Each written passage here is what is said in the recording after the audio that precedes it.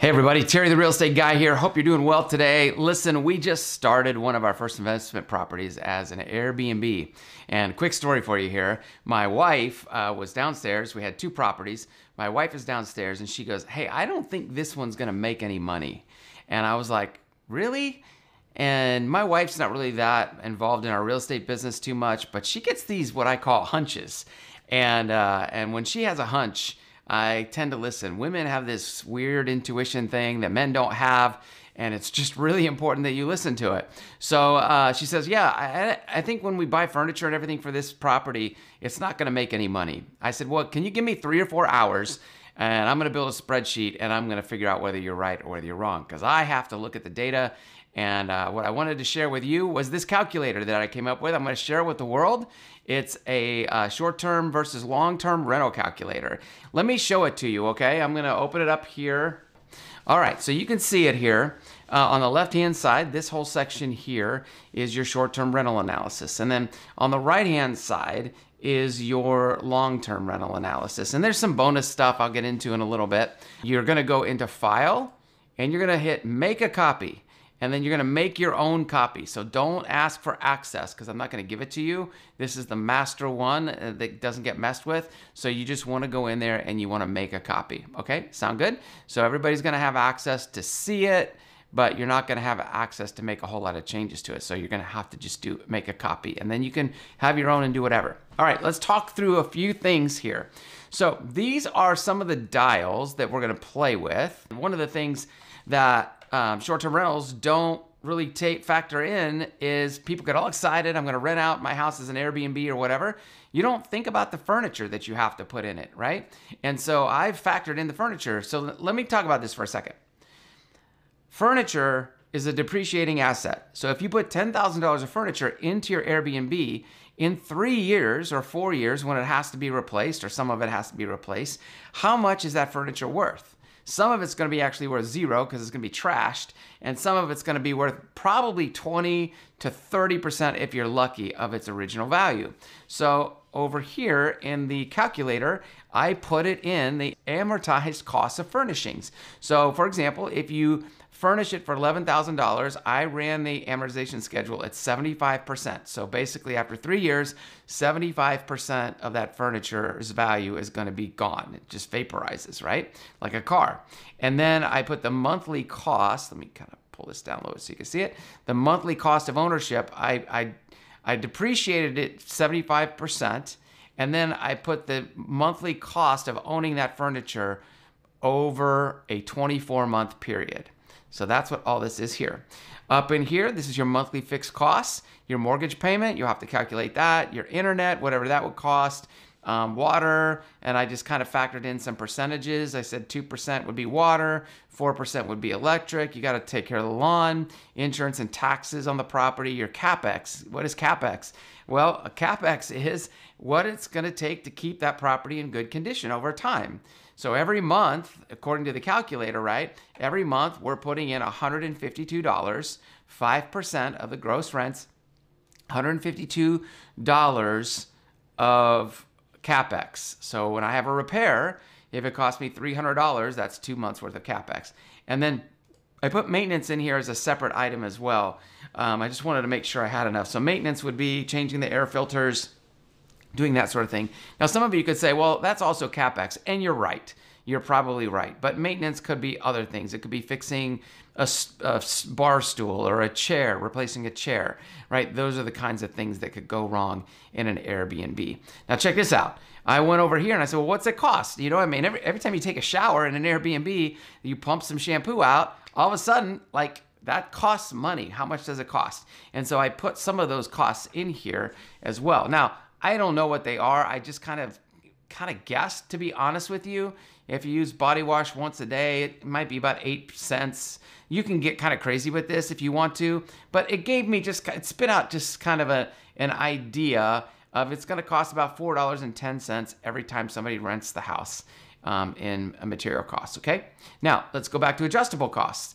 Well, adjustable costs are based on how much you use the unit, right? So the Airbnb owner fees, um, I put in here 4%. I think it might be a little bit less than that, but again, I, I wanted to over exaggerate and be conservative, right? If Airbnb raises their fees for some reason, I wanted to make sure I had a little bit of fluff built in there. Okay, so now let's play with the dials. You ready? This is where it gets fun. So I'm gonna go up here to like the occupancy rate, and I'm gonna say, all right, we're gonna every month we're gonna have 21 rentals, so that would be about 70% occupancy. And um, on this particular Airbnb, I think I can get, uh, let's just say, I think I can get 120 a night for it, right? $120 a night. So then it's got automatically going to calculate your your nights rented per year, your gross profit per night, right? Gross profit per night. And then you've got daily expenses. Your daily expenses are basically your monthly fixed costs divided by um, into 365 units, right? All your costs divided by 365 units. So you can check the sum up here. It's your monthly fixed costs, your adjustable costs, and your materials costs divided by um, uh, your monthly cost divided by 30.4 days a month on average, and then um, you add F16, which is the material cost daily. Okay. Then what it does, it's going to spit out a monthly gross for you. So monthly gross uh, income, and then monthly average expenses. So your average expenses there. Now, if you go over here, you can see now that I'm, I've got a profit and loss per night. So profit per night is $24.40. Profit and loss per month is $742. Things are looking good, right? I don't think I could have that much profit on a long-term rental with a regular tenant in it at $742 a month. So that looks good. Now almost eight, almost $9,000 a year in profit, right? Now there's an adjustment that I make, and this is where everybody seems to get this wrong. You don't factor in the furniture. So this is where you have to factor in the loss that you're taking on the furniture. So let's look at that. Um, so PPM is uh, price per month less the or profit per month. I'm sorry, less the cost to furnish.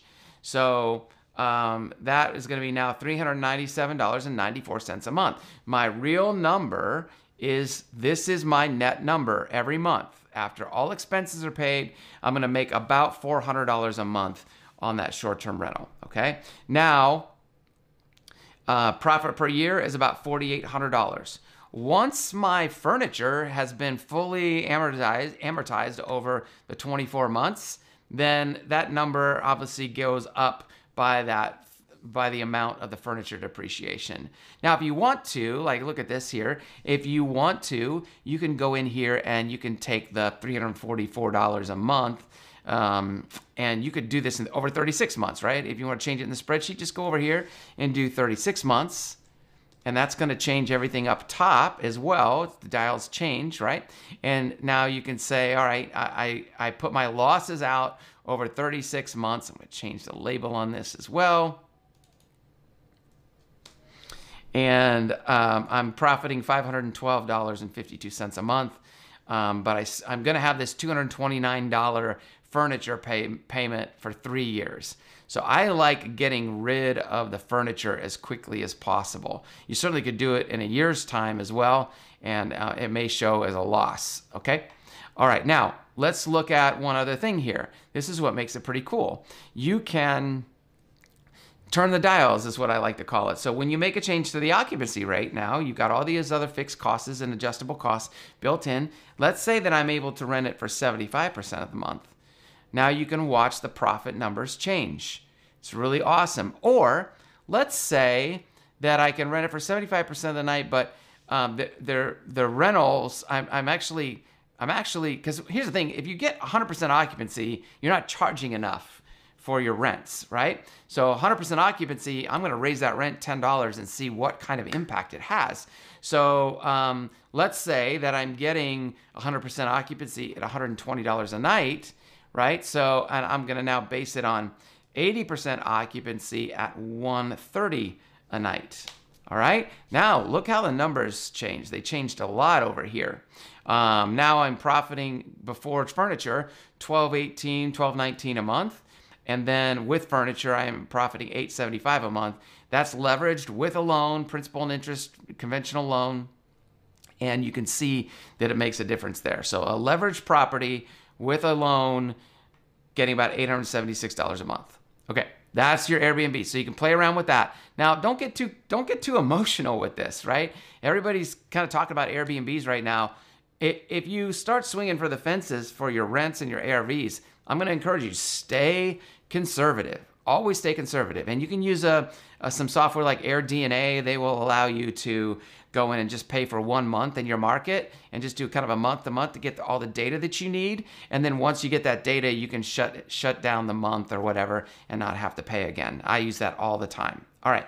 Now, let's look at the spreadsheet about long-term rentals. Let's check that out. Okay, in this case, um, I'm banking on 95% occupancy. So basically, if I have a two-year lease, it's only going to be, and it's going to take me one month to turn the lease around. I'm I'm having it rented 24 out of 25 months. That's about 95%. And this particular property would rent for $1,150 a month. So it gives you the nights rented per year, very similar to what it gives you in the sh- in the short-term rental. Let me just bring that over here, right? Nights rented per year, nights rented per year. Your nightly rent is $35.94 and your gross profit for rent over here is $104. That's a big difference, right? But check this out. Your daily expenses are much much lower. And we'll talk about that in a second, why they're lower. Then it gives you a profit and loss per night um, based on your mortgage, um, your profit and loss per month, profit and loss per year, and your return on your initial investment. Okay, I'm going to talk about what that means here in a second as well. Okay, so now let's do let's look at how the fixed costs are. Now notice we don't have any of this other stuff that you have in a short-term rental. There's no internet water electric all that stuff unless you're going to pay utilities or lawn service for your tenant but you're going to factor that into the rent okay? But my mortgage stayed the same. It's still going to be $791 and i'm going to set aside capex of $115 a month.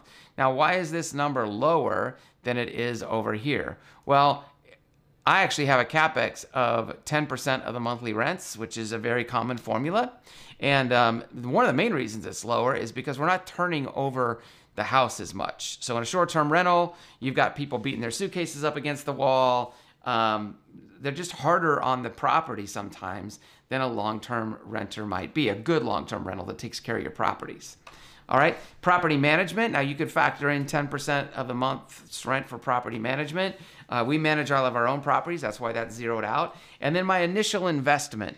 How much was my initial investment in the property? In this particular property, uh, my initial investment after I refi everything out, I only have $5,000 of my own money in it. That's a completely separate video. But in my at the end of the day, after I bought this property at a discount, got it renovated, and then refinanced it out uh, with the traditional financing, I only had $5,000 of my own money in that deal. Okay, now, so this there's no monthly adjustables really because you're not paying for anything that would be monthly adjustable. You basically have your principal, interest, taxes, and insurance payment, and you're putting money away for t- capex, and you've already put in your initial investment. So check it out. If I go in here now, I can see that my profit and loss per month is $186.50. $186.50. My profit per year is 2238 and my return on initial investment is 45%. 45% of my on this $5,000. Am I happy with that or am I not happy with that? I could be happy with that. Now, if I don't want the headaches, I don't want the headaches of a tenant, if I don't want all the uh, the issues of short-term rentals, people uh, breaking stuff and all um, the internet not working and people texting me in the middle of the night that they ran out of towels or whatever, right? If I don't want those headaches, then I'm going to look at this sheet a little bit differently. But if I'm willing to be the hospitality manager and run a little mini hotel in Airbnb, look at the difference in profit margin here. Now I'm going to go back, change my short term rental to something a little bit more realistic. On this particular property, I think these numbers are more realistic 70% occupancy, $120 a night rented, and it's going to give me after my furniture cost 397.94 basically twice the return of my long-term rental. Is it worth it for an extra 200 and approximately $10 a month between my profit and loss as a long-term rental versus my profit and loss as a short-term rental? Is it worth the $210 a month to have all of the Airbnb stuff that goes along with it right I can't answer that for you. Is it worth it for me? it gets really close, right? I'm to say four or five hundred dollars totally worth it to go the Airbnb route. But for an extra $210, I, am not sure it's worth it for me. Um, there's a lot of headaches for that $210. And then if you go and you hire an Airbnb company to do it for you, it's going to cost you a little bit more money on top of that. Usually they take anywhere between 10 and 20% of the monthly rents. Now all of a sudden you're down to where it's just not making sense anymore to make an extra $100, $150 a month. I'd rather just keep the short term tenant or, or the long term tenant in there with good credit. I know they're going to pay every month and just call it a day right? But this calculator is fantastic for you to run that math because if I run the math, right, and let's say I'm in this super hot area and I'm to make my Airbnb now. It's a great area. I know I'm to be at least 85% occupied. My rents are to be 135 a month. And now these numbers get pretty compelling. 1132 versus $186.50. You're basically almost 6xing your profit um, to get a 600% more return on your investment um, from a from a monthly perspective, ah, I might I might opt for the better cash flow and pay somebody to handle my Airbnb or handle it internally. If you like this video, man, make sure you like it and give a thumbs up and subscribe to the channel. Um, I, I, do real estate videos. I talk about real estate news, all kinds of stuff, but we're just getting ready to dive into our first Airbnb investment. I wanted to chat this with you. Now, remember that story at the very beginning? I ran that math on um, the Airbnb. It's not this one, it was the house right next door. Believe it or not, we were going to lose $140 a month every month. We're going to lose $140. And so we decided to do a long term rental on that one, a short term rental on this one because it's a little cute little cottage in Greenville, South Carolina. So if you ever visit Greenville, South Carolina, once it's live, I'll link to the description below and y'all can stay there. And I really appreciate it. All right, I'm Terry, the real estate guy. Spread the word. I hope you enjoyed this video. We'll talk to you soon.